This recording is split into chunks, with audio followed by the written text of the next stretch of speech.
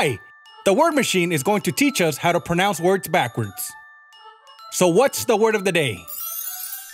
Lina. And how do you say that backwards?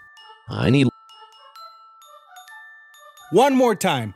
Let's pay close attention. I need Now you try it. Great job! Make sure you practice and don't forget to give us a thumbs up.